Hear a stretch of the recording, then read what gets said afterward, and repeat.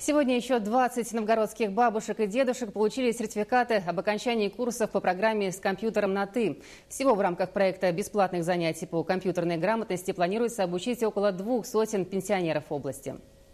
Союз пенсионеров Новгородской области. Дистанционное обучение найдем сейчас. И посмотрим про конкурс. Щелчок клавиш, пара кликов мыши, и Валентина Абдулаевна в считанные секунды находит в поисковике нужную информацию. За два месяца курсов компьютерной грамотности пенсионерка освоила базовые навыки и чувствует себя перед монитором уже увереннее. Я старшая по дому, и у меня была проблема вот с материалами работать. А, то есть что-то отпечатать, что-то напечатать, что-то объявления какие-то сделать, а, вот скриншоты какие-то.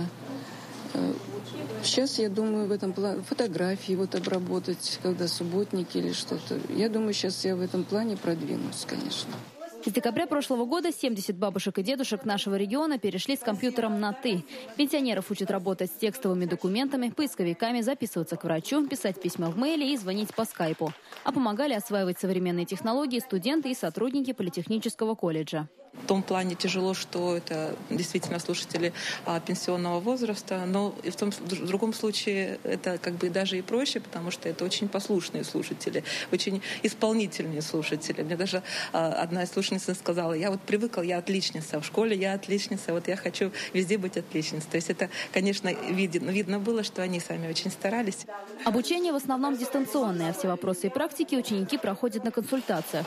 Кстати, курсы организованы не только в областном центре, но и в Боровичах, Старой Руси, Валдае и Малой Вишере.